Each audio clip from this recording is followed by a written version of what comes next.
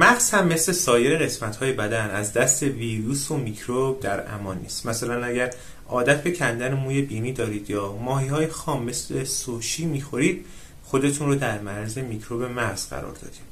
پرسینگ زبان، آبسه دهان و کارهایی که شاید در نگاه اول بی خطر باشن ولی کم نیستن. افرادی که تشخیص مننژیت و آبسه مغزی در اثر همین کارها هر روز در بیمارستان ها بستری میشن. عفونت مغز که با نام آبسه مغز هم شناخته میشه یکی از بیماری های خطرناک سیستم عصبی و با ورود عوامل بیماریزا و ایجاد چرک و عفونت در بافت های مغز همراهه.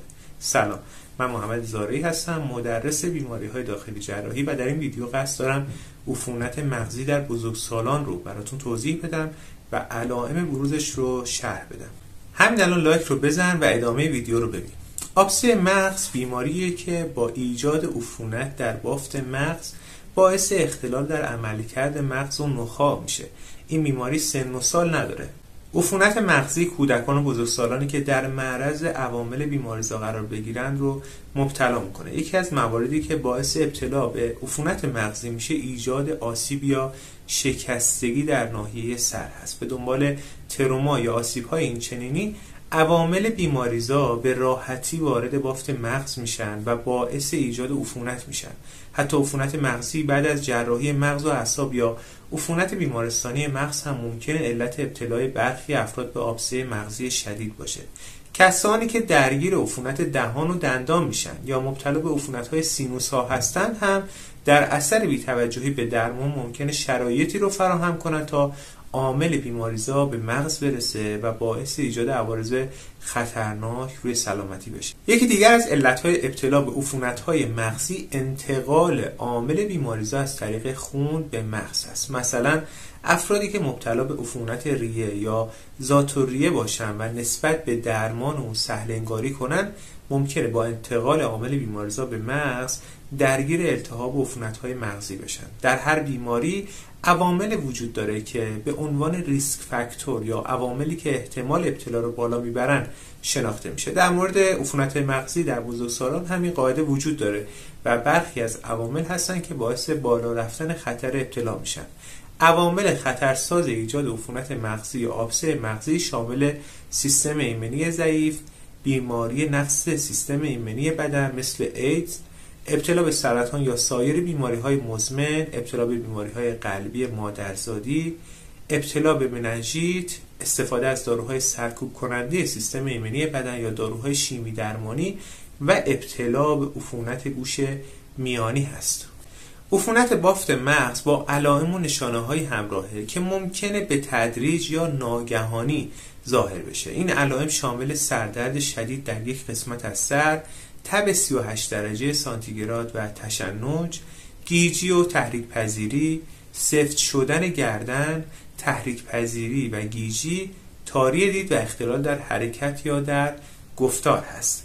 پزشک برای تشخیص عفونت مغزی قبل از هر چیز به علائم بالینی شما توجه می‌کنه و سابقه پزشکی فرد رو بررسی می‌کنه. به این منظور ممکنه سوالاتی پرسیده بشه. سوالاتی مثل اینکه چه مدتیه که دچار علامت تب سردرد یا سرگیجه شدید؟ آیا اخیرا به عفونت یا بیماری خاصی مبتلا شدید؟ و آیا اخیرا جراحی خاصی انجام دادید؟ و اینکه چه داروهایی مصرف می‌کنید. همه اینها کمک می‌کنه که به تشخیص درستتر برسن. پاسخ این سوالات به تنهایی نمی‌تونه. راهنمای مناسبی برای تشخیص عفونت مغزی در بزرگسالان باشه و پزشک باید از آزمایشات تشخیصی دقیق هم استفاده کنه آزمایشات تشخیصی عفونت مغزی یا آبسه مغزی شامل امارای، عکس رادیوگرافی، آزمایش خون، آزمایش ادرار و مدفوع، سیتی اسکن و کشت خلط سینه هست. عفونت یا آبسه مغزی یه بیماری خطرناک و وضعیت اورژانسی تلقی میشه که لازمه به سرعت مورد توجه و درمان قرار بگیره و درمان مناسب برای اون اتخاذ بشه طول درمان این بیماری به شدت بیماری و وضعیت سیستم ایمنی فرد بستگی داره برای عفونت بافت مغز از آنتیبیوتیک و داروهای ضد ویروس استفاده میشه تا عامل بیماریزا رو از بین ببره. دوز داروی عفونت مغز و مدت زمانی که لازمه بیمار دارو مصرف کنه بستگی به شدت بیماری داره. حتی برخی از بیماران برای درمان عفونت مغزی لازمه چند نوع آنتیبیوتیک مصرف کنند همچنین برای کنترل سردردهای ناشی از عفونت‌های مغزی بیمار می‌تونه از داروهای مسکن استفاده کنه که البته اغلب اوقات این داروها نمی‌تونن سردرد رو کنترل کنن چون شدتش خیلی زیاده. یکی دیگه از روش های توصیه شده برای درمان عفونت مغز استفاده از روش جراحیه. وقتی میزان عفونت در بافت مغز زیاد باشه پزشک می‌تونه عفونت ها رو با جراحی تخلیه کنه و علائم بیماری رو بهبود ببخشه.